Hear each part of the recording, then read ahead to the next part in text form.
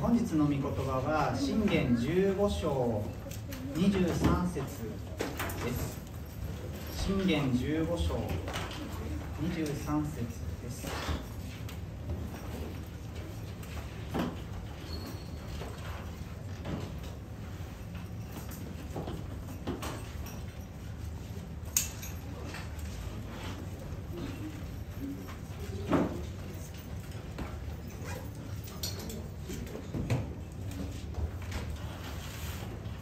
信玄15章23節。生きておられる神の御言葉。お読みいたします。適切な返事をすることはその人の喜び。慈義にかなった言葉はなんと麗しいことか。もう一度お読みします。適切な返事をすることはその人の喜び。慈義にかなった言葉はなんと麗しいことか。皆さんおはようございます。バンクーバーでの滞在も早いところで残り1週間となりました。来週の水曜日の夜中に日本に向けて出発することになります。本当に一日一日が、えー、濃くてですね多くの学びがあったえ実習だったなとそのように思います。この教会での実習で、え印象的だった、え一つのことは、えー、草先生ご夫妻の、え息の合った掛け合いでした、え福作先生のボケをマリ先生が絶妙なタイミングで、えタイミングと言葉でツッコミを入れるというその本当に息があった、えご夫婦だなと思って、えいつも見ていました。のそれを見ていてですねツッコミっていうのは本当に頭の回転が速い、えー、まあ、頭の回転が速くないとできないんだなというふうに思いました。タイミングが命ということです。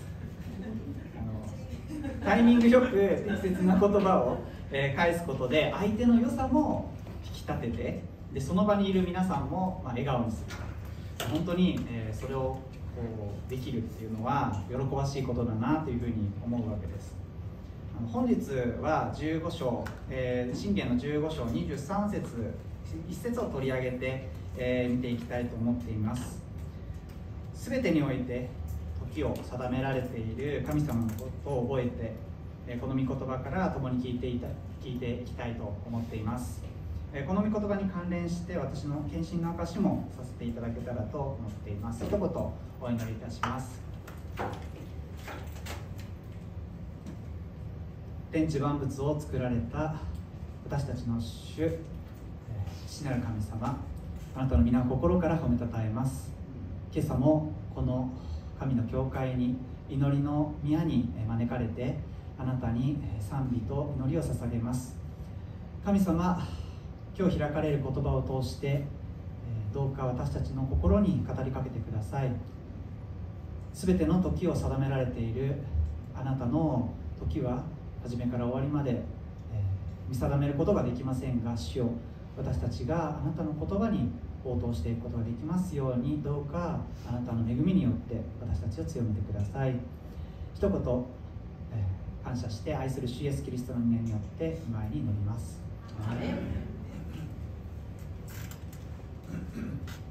もう一度、えー、15章23節の言葉を読みします適切な返事をすることはその人の喜び。慈義にかなった言葉はなんと詳しいことか。この前半と後半というふうに分けるとしたら、まあ、この後半は慈義にかなった言葉はなんと詳しいのかというふうになります。この慈義にかなうという言葉ですけれどもこの意味は時にかなっているという意味です。適切な状況であったり、えー、時期ということを意味します。時にかなった言葉はとても良いものであると。そういう意味です、え、前半には、ま、適切な返事をすることはその人の喜び。適切な返事というふうにありますけれども普通返事は何かしらのこう、えー、語りかけがあってそれに応答するわけですけれども、まあ、遅すぎたら独り言になってしまうわけなので、まあ、適切なタイミングと、ま、時があるわけですね。なのでこの前後の2つの文は、ま、別の言葉で同一の思想を表現していると言えます。このような手法はヘブライ語の詩の特徴的な平行法と呼ばれる表現の一つであるわけです。短い2つのフレーズを並列させて1つの思想を伝えようとしています。つまり言わんとしていることは適切な返事とは時にかなった言葉であってその返事をした人の喜びでもある。そして良いものである。ということです。えー、皆さんはこの御言葉にどのような印象を持たれるでしょうか？直感的には少し違和感を、えー、抱く方もいらっしゃるのではないかなと思います。例えばですねお母さんがいて子供がいてそのお母さんが子供に対して何かあの言うとします。そして子供が何か返事を、まあ、良い返事をしたとしたらお母さんが喜ぶのが普通ですよね。でもこの御言葉は返事をした方の子供に対してこう喜びがあるというふうに言っているんです。なぜ適切な返事をすることがその人の喜びなのでしょうか。結論から言ってしまえば返事を求められた方も返事を求める方も返事をした方もどちらも喜んでいるということが言えるのではないかなと思います。成熟した子供はお母さんを喜ばせる自分の返事を喜ぶということが言えるでしょう。また主人に適切な返事をする良いしもべはその主人の喜びを見て、えー、共に喜ぶ。そういうふうに言えるのではないでしょうか。時を全てにおいて定めておられる神様のタイミング、え、その神様の呼びかけに対してえー、はい主よ分かりましたと適切な時期に言えることは神様はもちろん喜ばしいことでもあるでしょうし答える私たちの側にも喜びがあると言えます。しかし私たちが神様の招きに対して従っていく時には難しさがあると思います。自分が発しようとする返答が、えー、果たして適切なものであるのか本当にこの呼びかけは神様から来ているものなのかそして自分が今答えようとしている応答は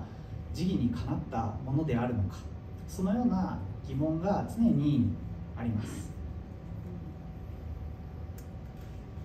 伝道者の書によれば全てのことには定まった時があり天の下の全ての営みには時があります。伝道者の書3章11節にはこのようにあります。神のなさることは全て時にかなって美しい。神はまた人の心に永遠を与えられた。しかし人は神が行う御業の始まりから終わりまでを見極めることはできない。その時期が本当に適切であるのかあらかじめ完全に見極められる人はいないということです。しかし時を定められておられる神様を本当に信頼して一歩踏み出していく決断をしていく時、その人は必ず振り返ってあの時の返答は時にかなっていたものだったと、えまそのように感じる心が人には備えられているように思うんですね。初めから終わりまでを完全に見極めることができなかったとしても人は神様の見業を部分的に垣間見て美しい麗しいと感じることができます。旧約聖書にはそのような人々が数多く登場してきます。一人の人物を取り上げようと思うんですけれども信仰の父アブラハムです。アブラハムはカルデアの地ウルにあった時に父と一緒に暮らしていた時にですね神様が私が示す地に行きなさいと、言われてそこに従っていきました。そして故郷を離れて、約束の地に向かっていきました。その時には私が示す地というのがどこにあるのかどこなのかもわからない時に出ていったというふうにヘブル人の手紙には書いてあります。アブラハムは約束の地を所有することや子孫が星の数のようになるという神様からの約束を実際に目にすることはできませんでした。そして地上の生涯を終えたんですけれどもアブラハムはサラとの間にイサクが与えられるという主の奇跡を目の当たりにしました。アブラハム100歳サラ90歳の時でした。常識では考えられない年齢ですけれども彼らはこの出来事を通して主に不可能はないということを実際に経験的に知ることができました。そして神様を賛美しました。もしアブラハムが神様の言葉に従って自分の故郷を離れることがなかったとすればそのような奇跡を目の当たりにし神様の本当の姿神様の姿をもっとよく知ることはできなかったことでしょう。これらの出来事によって主が確かに約束を守れる方であるという信仰が増し加えられてはるか未来に与えられた栄光をアブラハムは喜ぶことができました適切な返事をすることはその人の喜び。それはその時には喜びではもしかしたらないかもしれませんけれどもそしてもしかしたら苦難があって長い間試練の時があるかもしれませんけれども時期にかなってその返答が、えー、本当に自分が適切な返答をしたということが確かなものであれば後になってからそれが本当にこう美しく感じられる。そのようなことを、え、この聖句は教えているのではないでしょうか。ここで私がどのようにして牧会者として召されたのかという証をさせていただきたいんですけれども私はアメリカで救われて日本に戻ってから静岡県磐田市というところで働き始めました。ジュビオ磐田というサッカーチームプロサッカーチームの本拠地であのサッカー熱の非常に高いえ地域です。駅を出るとですねジュビロ磐田ホームみたいな感じでこう旗が立ってるんですね。そこの地でエンジニアとして自動車部品メーカーの IT 関連の部署で働いていました。特に給料が高いわけではありませんでしたが実力以上に評価していただいていてとても働きやすい環境だったんですね。教会は同じ教団この、えーと、日本同盟同盟キリスト教団。の、えー、岩田キリスト教会です。その教会は JCFN という、まあ、ネットワークを通じて紹介していただきました。JCFN というのは Japanese Christian Fellowship Network という略称のミニストリーで、まあ、今週のキャンプの講師でもある清水哲さんが代表を務めているミニストリー帰国者が、えー、日本の教会に着地するのを助ける、まあ、もう外国で救われたクリスチャンが日本の教会に根付くのを助けると。そういうミニストリーで、えー、教会を紹介してくれる誰かをこう紹介してくれるんですね。最初はあのー、まあ、現地の教会だったのでアメリカとのギャップを感じて馴染めないというような、え、感覚があったりしました。しかしその5年間の、えー、会人経験の間にその教会は本当に私にとって大事な私の愛する教会と言えるようになっていたんですね。この5年間の間に会社の後輩と自分の同僚の2人がイエス様を信じて救われてまたその救いを見てですね教会の青年たちが励まされて本当に変えられていきました。で青年たちがこう集まってくるとどんどんこう数が増えていったんですね。で最後の年には役員を任されてとてもやりがいを感じて奉仕をさせていただいていました。しかし2020年の春頃コロナが流行し始めたと同時に父が末期がんであることが、えー、分かりました、えー、自分が、まあ、あの家族で僕一人がクリスチャンなので、えー、家族の救いのために家族と、え近いところで生活した方が良いのではないかということを、え考え始めました。あの特にコロナで県県をまたいで移動することが、えー、規制始め規制され始めた時だったのであの、まあ、親の近くにいなければ、えーまあ、病院に運ばれていってもその病院にも行けないということがあるのかなというふうに思って、えー、本当に焦りを感じていました。自分が進むべき道について真剣に祈っていたある日にヨハネの福音書21章の御言葉が思い起こされました。あなたは私を愛するかという言葉でした。復活のイエス様がペドロに向かって、えー、質問をしていた箇所です。その箇所を開いてですね読んでみるとこのように書かれていました。あなたはこの人たちが愛する以上に私を愛していますか？一番最初のイエス様の3回ある問いかけのうちの一番最初の問いかけでした。その質問は直接自分に問いかけられているような心の迫りを感じたんですね。道を示してほしいと願うあなたは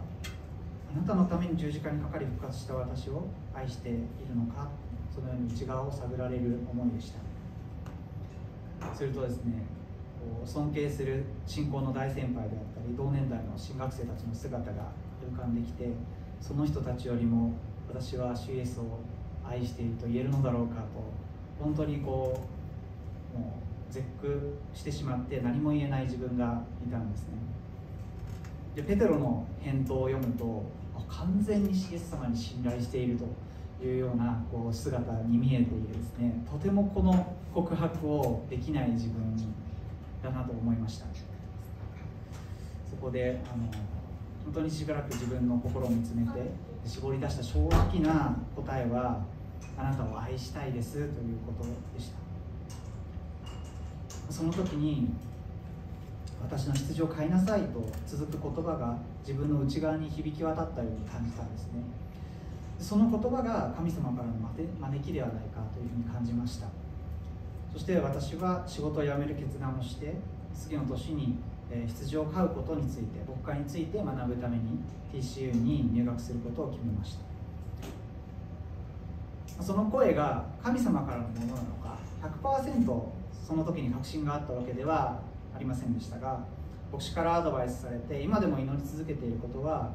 あなたが呼んでくださったのならば道が開かれていきますようにという祈りでした。結果的には不思議と道が開かれて、え教会からも家族からも会社からも応援されて送り出していただいて現在は TCU で牧牧師になるための訓練を受けています。その後 TCU に入学してからあの時の応答のタイミングはまさに神様の時だったと思う出来事がありました。新学生は経済的な面で支援に遭うことが非常に多いと、えー言われていますが、えー、例に漏れず私もそうでした。しかしそこに神様が用意してくださった祝福を、えー、見た思いがありました。その話をシェアして終わりたいと思います。去年の春頃学費が80万円ほど足りないということが起こりました。あの夏までに80万円必要。でも手元に何もないというような春にそのような状況になったんですね。で3月のニュースレターにその金額の不足分が満たされるようにという祈り課題を書いていました。するとその3ヶ月後にとても不思議な形でニュースレターに載せた額ぴったりの金額が振り込まれるという通知が来たんですね。正確には数千円多かったんですけれどもそれでもあまりのぴったりさとタイミングに本当にびっくりしてしまいました。それはあの全く予想にしてなかった特許の使用料に関しての、えー、報酬でした。自分は大学院時代に放射性物質の除染に関する研究をしていたんですけれどもその時に特許を出していたんですね。でそのそこからの収入でした。ほとんどあの企業からの企業の実績がないと入ってこない収入だったのででその数年間ほとんどゼロが続いていたんですね。なのでもうこの先収入がもう期待できないと思って全くこう考えていなかったんですね。でもそのある意味その特許収入から本当にタイミングよくぴったりの額が与えられていて、えここ本当にこう霊的に鈍感な私もさすがに神様の介入を認めざるを得ないと思いました。私があのタイミングで検診を決めていなければ神様が以前から備えてくださっていた祝福を見ることはできなかった。ある意味その研究は私を病気に、えーまあ、させてというか、まあ、していただいて そして本当に得難い経験をさせていただいて、アメリカに行くきっかけを与えてくださってそしてあの神様に出会って戻されてそして献身をしてその年に必要な額ぴったりが与えられるという本当にあの、まあ、私から見たら本当に神様の素晴らしい備えを見せられたそういうような思いでした。神様は私たち一人一人に平安を与える計画を持っておられます。その御言葉に従っていく時にたとえ困難があったり悲しみがあったとしてもその返事が時にかなったものであればあったことを喜ぶ、そんな、備えが神様によって与えられる。そのように信頼して歩んでいけたらと思っています。一言お祈りします。ご在天の父なる神様あなたの皆心から褒めたたえます。すべてのものにはあなたによって定められた時があります。しかしその初めから終わりまで私たちは見極めることができません。あなたのあなたが良い方である方恵みを施され慈しみ深い方である方そのことに本当に信頼してあなたの招きに一歩信頼して踏み出していく時に主はあなたはあらかじめ備えてくださっている、え奇跡を、え見せてくださいます。神様は私たちが本当にあなたに信頼して、え踏み出していくことができますように時にかなって美しいあなたの御業を喜ぶ私たちのその心が本当にあなたのその恵みによって励まされて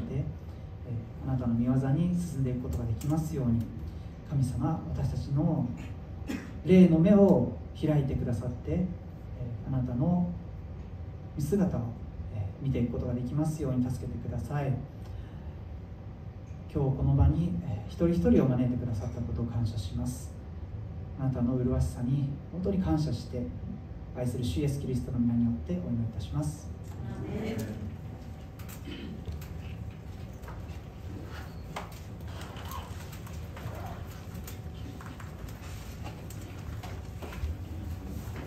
はい、ええ、ご兄弟ありがとうございました。あと一週間ですね、はい、残されたインターネットがもらえるように覚えていきましょう。今日あと渡辺正弘君も、ありがとうございます。もう明日ね、日本に帰るんですけども、1週間の間でます。はい、全体の祈りの課題、ご一緒に見てまいりましょう。あさってから教会キャンプ、ファミリーキャンプが行われます。えー、大体140名ほどの参加者が予定されております、えー、キャンプ。一人一人の、えー、祝福また行く道帰り道、えー、多くの車が運転していきますので道が守られるようにまたキャンプ場での集会の祝福を覚えてお祈りしましょう、え、今年のキャンプのメッセンジャー清水明日こちらに、えー、それぞれ別の場所から来られるんですけども明日から、えー、来週の火曜日まで、えー、バンクーバーに開催されます、えー、ご夫妻のキャンプでの働きを覚えてお祈りいたしましょう、えー、全体はそんな感じですね。個人的な祈りの課題も皆さんと覚えてお祈りしたいと思います。